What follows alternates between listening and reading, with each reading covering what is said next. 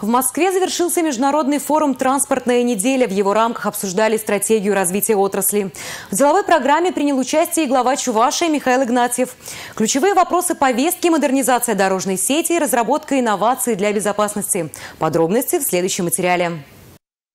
На интерактивной карте инвестиционный проект «Скоростная автодорога Москва-Казань». Новая трасса станет частью международного маршрута Европа-Западный Китай. Перспективы транспортной системы федеральный министр обсудил с руководителями регионов. Нам надо быть готовым реализовать подрядчикам, прежде всего, выигрывать эти конкурсы по цене и качеству и обеспечить качественную работу. Те объекты, которые касаются по программе устойчивого развития сельских территорий, мы это реализовывали в сельской местности, и все шансы и все возможности у нас есть. Дальше строить эти объекты, реконструировать, капитально проводить ремонт этих дорог. Транспортная индустрия взяла стремительный разбег. Сейчас даже беспилотными автомобилями никого не удивишь. А ведь каких-то пять лет назад это называли мечтой. Все инновации для перевозок и безопасности пассажиров презентуют на полях Международного форума в Москве.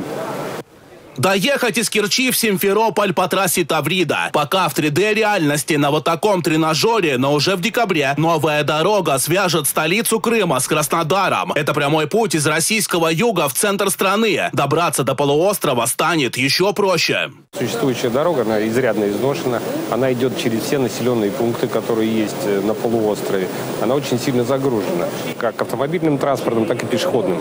Вот. Поэтому, естественно, та дорога, которая будет построена в обход населенных пунктов, вот, с удобными транспортными развязками в разных уровнях, еще один важный проект для нашей республики – третье транспортное полукольцо в столице. Дорога должна соединить новоюжные и северо-западные районы города. Реализацию проекта в федеральном центре поддерживают. Уже активно идут э, изыскательские работы. И до декабря следующего года у нас будет проект по э, формированию э, дорожной сети от э, северо-западного до новоюжного района, что, безусловно, уменьшит нагрузку на существующую дорожную сеть, а также э, улучшить, улучшить вообще качество жизни в городе Чебоксаров, Чебоксарской агломерации.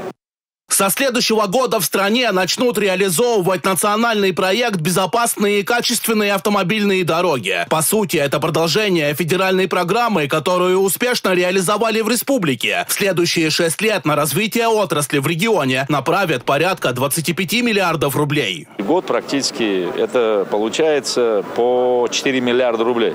Мы по этому году даже 5 миллиардов выделяем. Выделяются федеральные средства, более чем 7 миллиардов рублей. Я не считаю сейчас строительство высокоскоростной магистрали Москва-Казань.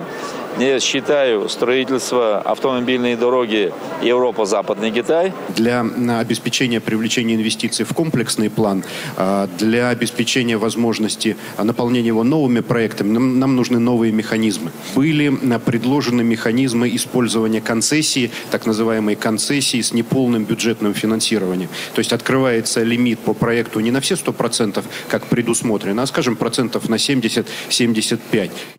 Концессионеров интересуют и проекты развития аэропортов. Воздушная гавань столицы республики тоже будет реконструирована. Модернизация терминала за счет частных инвестиций. В федеральном ведомстве готовы поддержать ремонт перрона, мест для стоянки самолетов, взлетно-посадочной полосы и рулежных дорожек. На первый план сейчас выходят вопросы безопасности и сокращения количества аварий. Помощь в этом оперативно оказывает система «Аэроглонасс». Ее развитие обсудили участники форума когда я предлагал эту программу, этот проект на комиссии по модернизации при президенте Российской Федерации, то было много споров.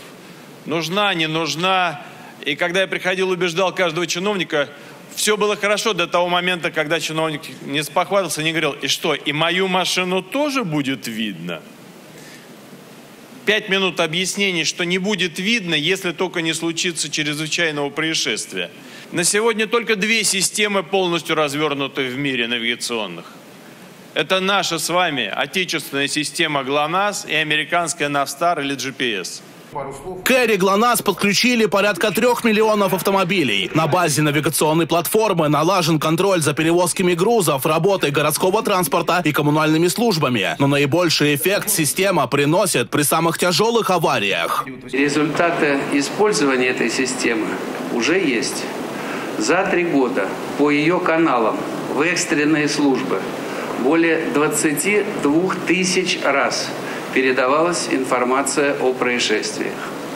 А из них 12 тысяч вызовов было сделано автоматически.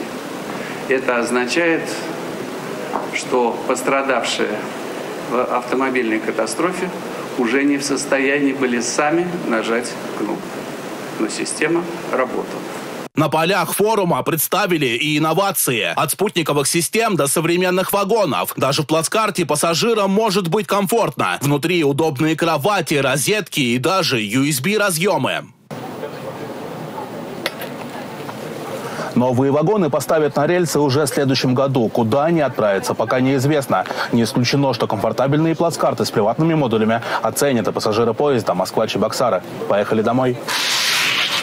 На инновационное развитие транспортной индустрии в стране делают ставку. Национальный проект – действенный инструмент в решении задач. Дмитрий Ковалев и Павел Редков. Республика из Москвы.